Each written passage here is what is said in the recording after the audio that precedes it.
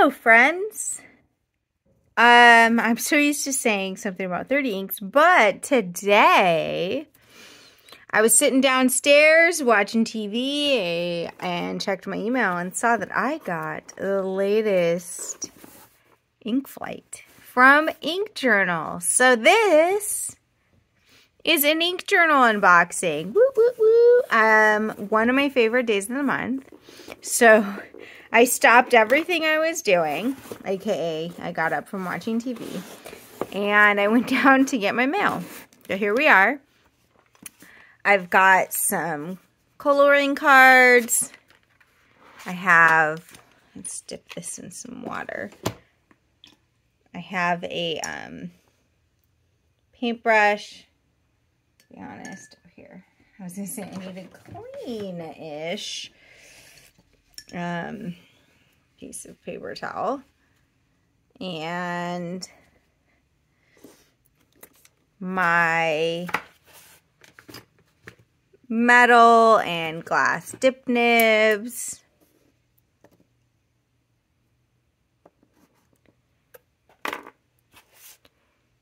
And some excitement to swatch. So, let's open this up. Ho, ho, ho. This is exciting. Very exciting. So,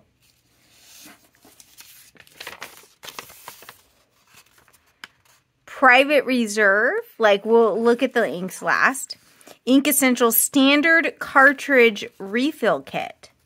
So this comes with two syringes with blunt needles and 20 empty international size ink cartridges.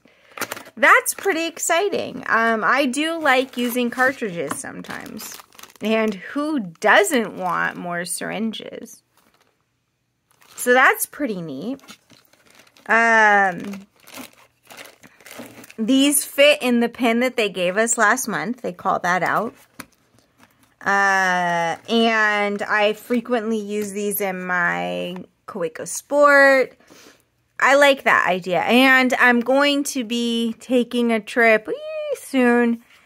Um, and I can always maybe bring more of these.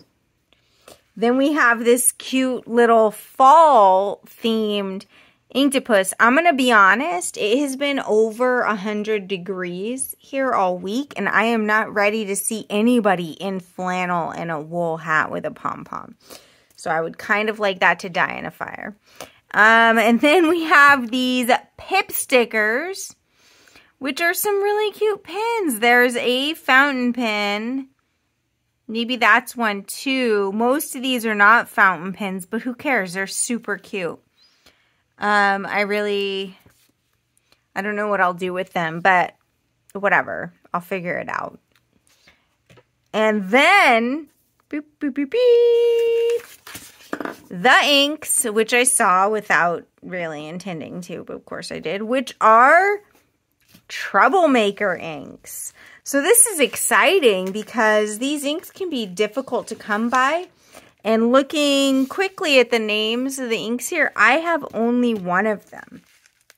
Um, so I, I pretty, I, I dig that because I think what I will do is give that sample to a friend. So, contrary to the name, Troublemaker inks are not difficult to use in your fountain pens. Each color is 100% mixed, bottled, and packaged in the Philippines by hand. Most of this month's flight includes new inks released in summer 2022. So, um, we have Nanita, um, Moon River, Tuslob Bua, Polar Lights, Mango, Foxglove, and the one I have, Abalone.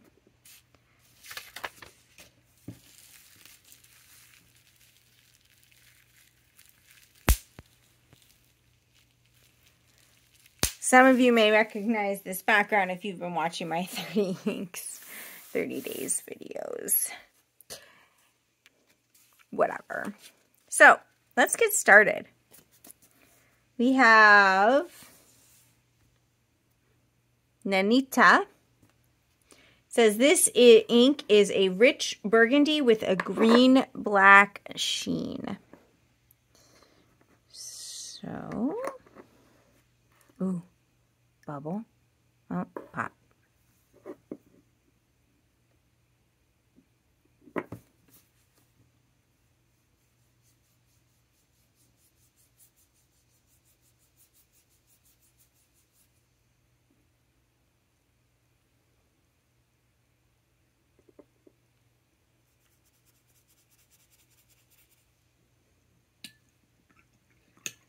Usually I go for a bigger container of water.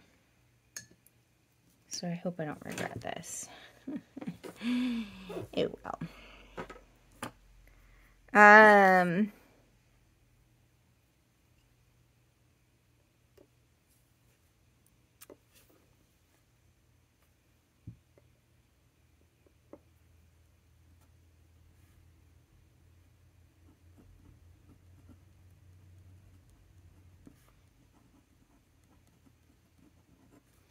This reminds me a little bit of... What did I do?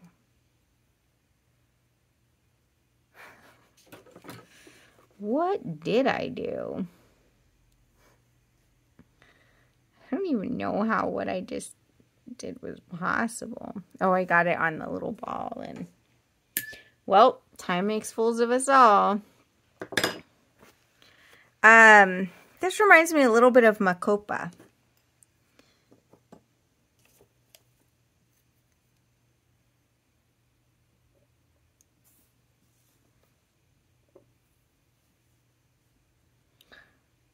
What is this?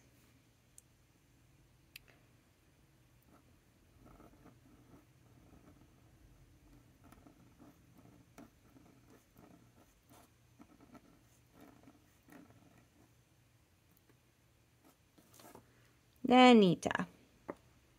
Yeah, like, I, things are going poorly for me right now. it's fine.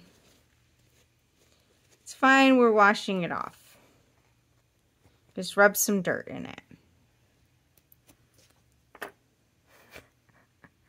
I'm going to be honest, no part of this strikes me as burgundy with a green-black sheen.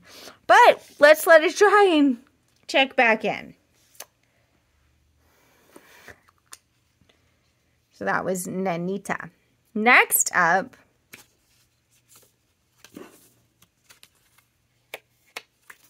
we have Moon River, and this is, says this pink ink has dreamy, multichromatic shading, tones of green and bluish gray.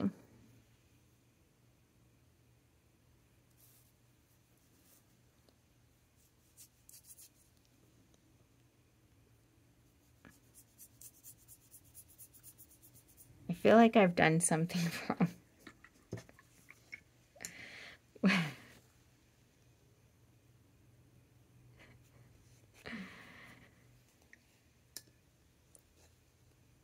Me go get more water for rinsing. oh God. that was pretty funny.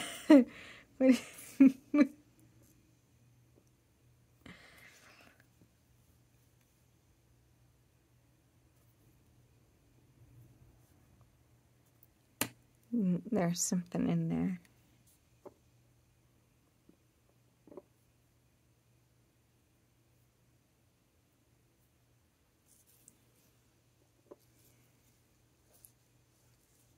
Let's see, I think that looks better.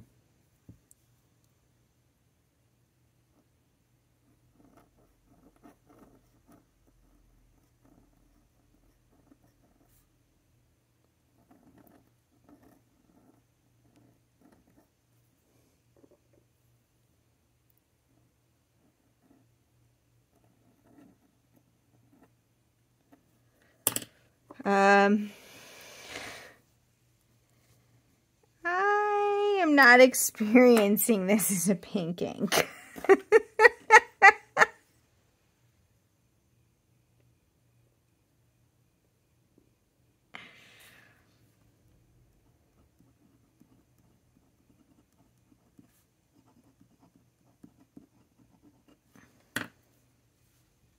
Okay, we're gonna go empty our water real quick, just in case somehow it is that.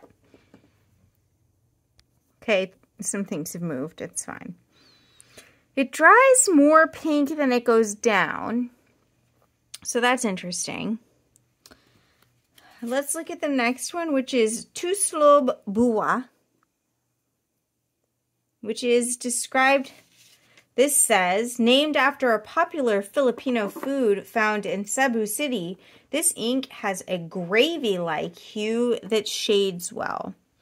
Now, there's a part of me that wants to kind of push the question of what do they mean gravy-like? Because, like, biscuits and gravy, which is almost white, or um, some other kind of gravy. I suspect they mean like the kind of gravy you get in the US if you're having turkey or UK with your Yorkshire puds. So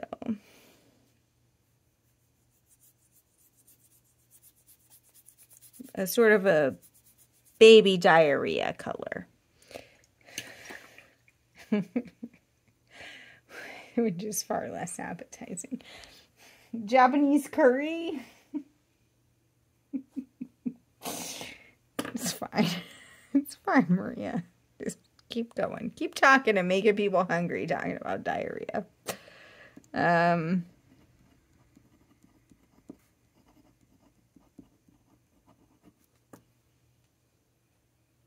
okay. Um, this is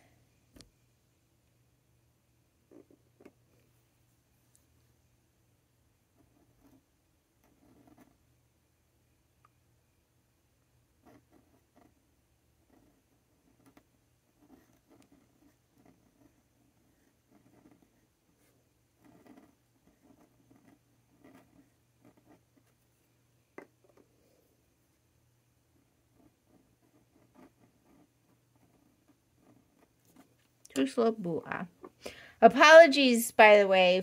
Feel free to correct my pronunciation if you uh, speak Tagalog or um, know better how to pronounce these words. Somebody's going to love this color. Oh, I've been messing this up. I'm forgetting to swatch on my other paper.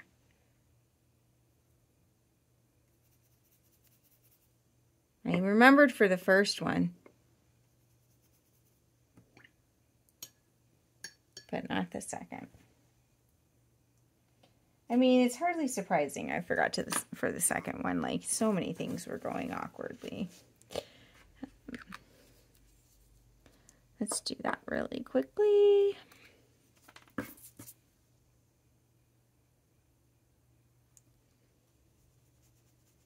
It goes down so gray that I was just like, what do you mean pink? For reals, like even in the cap, it looks gray.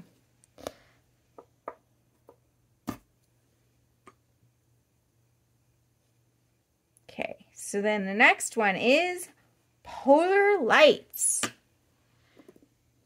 And it says, this deep purple black ink looks like a night sky with the shimmer of Aurora Borealis.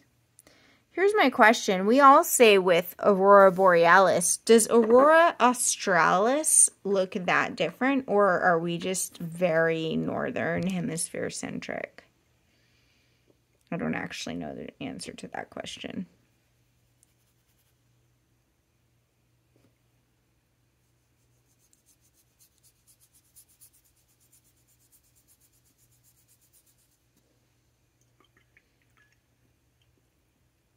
Because I would have assumed that there's no good understanding the phenomenon as I do that overall Australis should look much the same.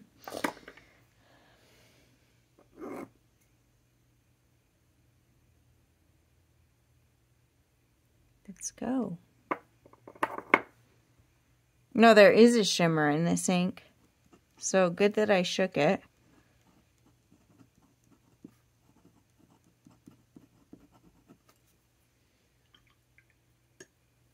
An actual shimmer.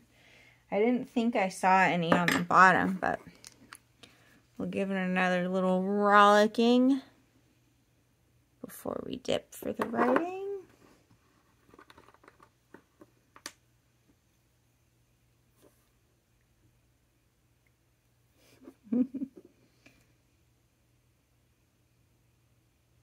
I've been fighting ants for like a week and I'm tired of it. Need a flamethrower.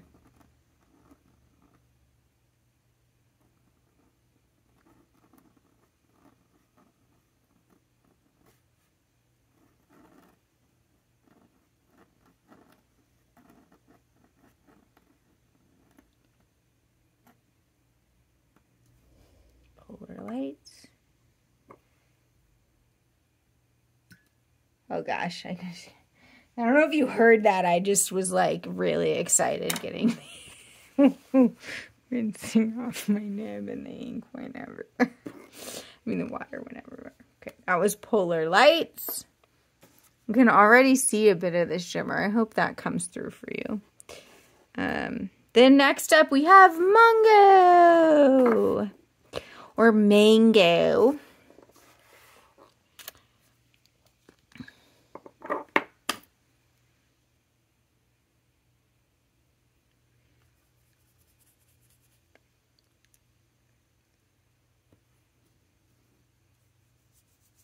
Wow. I don't own any colors like this. If I did, I'd have used it a day or two ago. In my 30 inks, probably.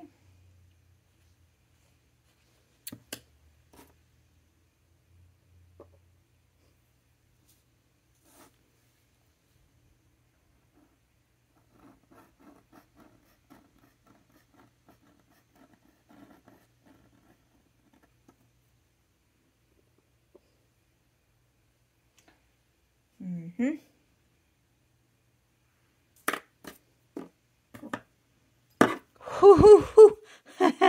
oh gosh, I don't, I don't know if that was on camera, but I almost just dropped my glass pen.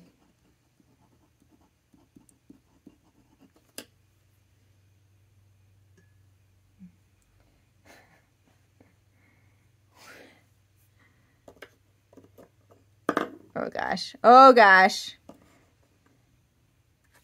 I'm having real troubles right now. And then next up we have Foxglove.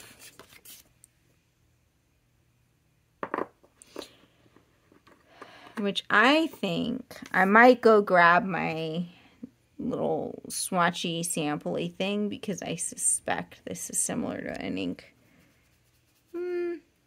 Maybe not.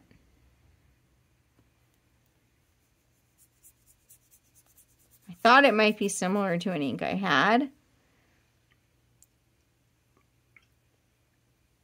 And I'm not sure. Oh, I'll tell you what, one of these did some really cool things on that paper towel.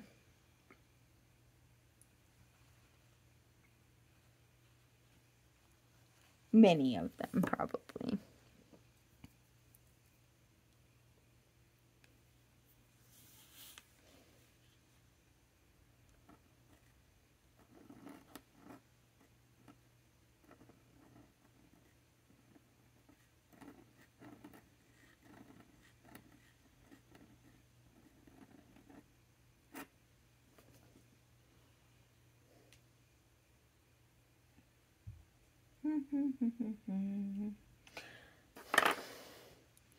I sometimes think like I don't need all these samples, but this is truly a delightful time of the month for me. So I don't need them, but they are so much fun. And my next 30 inks, 30 days, I don't know if I'll do November, but the next one I do is I is going to be I think all um ink flight samples because I'll have enough at that point. Then the last one, and I am going to swatch this because there's always variation in, in, in especially in these smaller brands with how inks look. So we have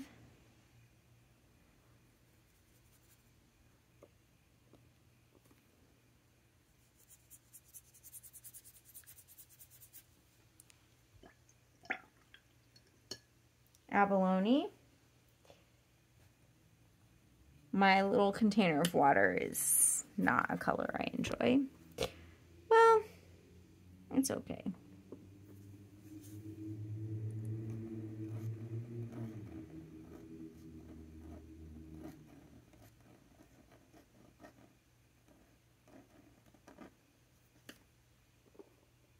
So pickly.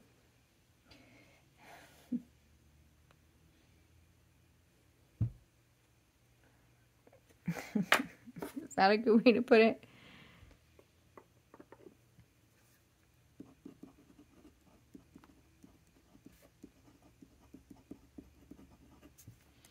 So, here we are with our samples.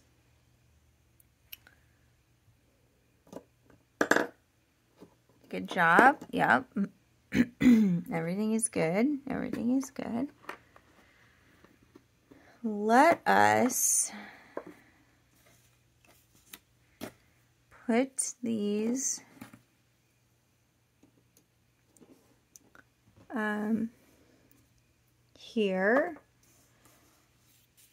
to dry. And we'll get some swatches for comparisons. Um, I think that's fun, right? And if you don't have the song Moon River in your head, I don't I don't know what to tell you. I don't know how you've avoided it. Okay, I'm back with some comparison inks.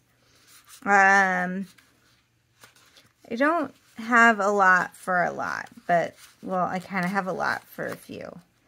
So the first one that came to mind is for Nanita. I had two that were like maybe similar. Also, um, Ink Flight inks. Let me get these out of here. I'm really sad because look what I did to Mongo. Aww. Um, so here is Nanita, and the two that seemed similar were Makopa, and this one is really not that similar. So you can see this is far more hot pink. The uh, one that struck me is more similar is Cardona, but Cardona has a shimmer. And then I suppose, actually, does that mean that all the best kind of similar to Nanita? But yeah, I suppose Cardona is the most similar of the inks I have. But that doesn't mean it's actually very similar at all. So we'll put that one aside. And then um, looking at Moon River, some comparisons I thought were apt were um, Sailor Ink Studio 252. This is actually not that dissimilar. If you look at the writing and like look at the color down here, I feel like that's pretty similar. Another one from last ink flight is um, Seki, the Sailor Yurameku Seki. Um, I feel like this is more gray, this is more pink, but they're still pretty similar. Um, another we could look at is probably Sailor Yurameku Kyokuya. Um, but this is, to me, much more purple. So that's that. Then if we look at Tuslob Bua, um, two that came to mind to compare it to that are not that similar, but Vinta Latte, if you have that. Um, Sailor Amamu, Amamoyoi. And Sailor Yurameku Kyokuya. So again, none of these are really all that similar. These are far more cool. This has a lot of that yellowy in it. Oh, on the ground. I threw it on the ground. My dad's not a cell phone. Uh, then we can look at abalone. So somewhere I have abalone. Where did you go? Here's my last swatch of it. Mostly the same.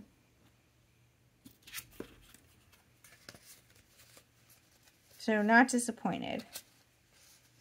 If we want to compare it to, for example, Petrichor, Abalone is far more blue. Um, something I thought would be close would be Colorverse Mystic Mountain. This has shimmer, but it's also more blue. Um,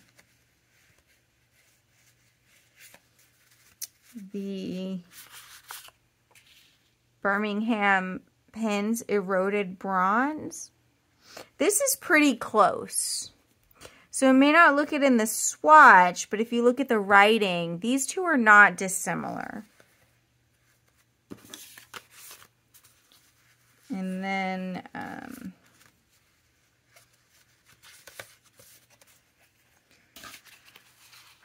other ones we can look at would be like Sailor Manyohaha.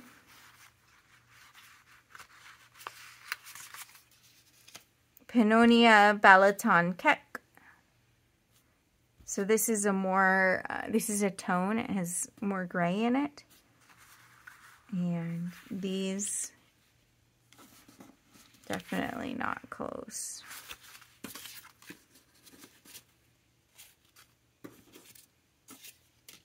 Everything is a mess over here. It's fine though.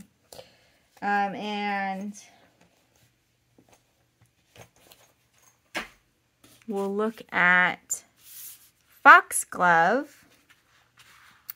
So these, uh, the one I thought it would be closest to and why and how I talked myself out of this ink is um, Colorverse from Cali. And they are pretty similar. If I look through the lens, um, if I look at the camera, what I'm seeing is this is more pink. 100 this is definitely got a lot more pink in it. I think it's more saturated. Um, I do really like Foxglove, but I have a bottle of this and I can't, in good conscience, allow myself. Uh, another one that maybe, if you went, so this is Purple Sea Star from Vinta. This was the uh, San Francisco Pen Show color definitely far more blue.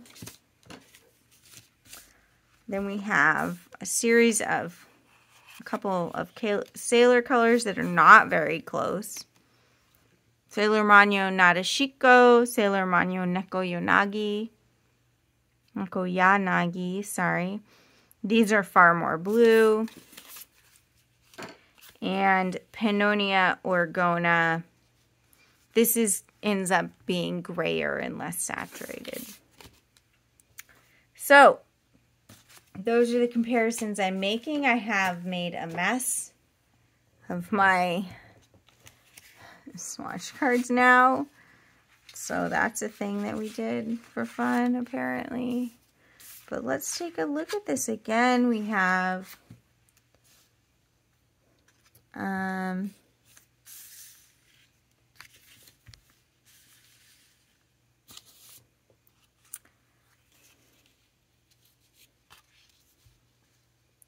are seven inks. They're all troublemakers. So we have Nanita, Moon River, Tuslob Bua, Polar Lights, Mango, Foxglove, Abalone.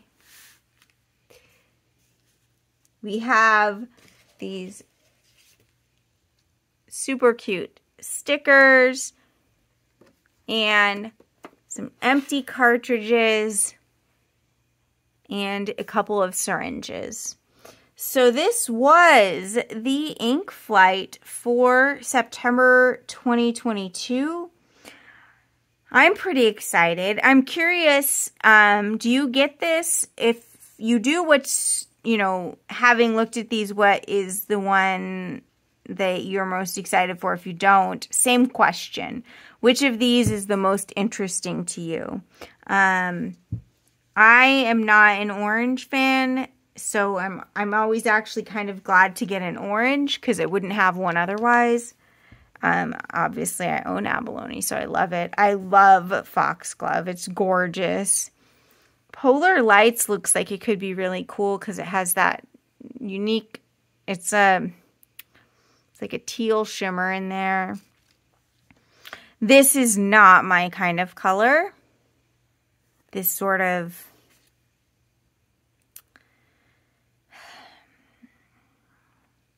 how do we describe this?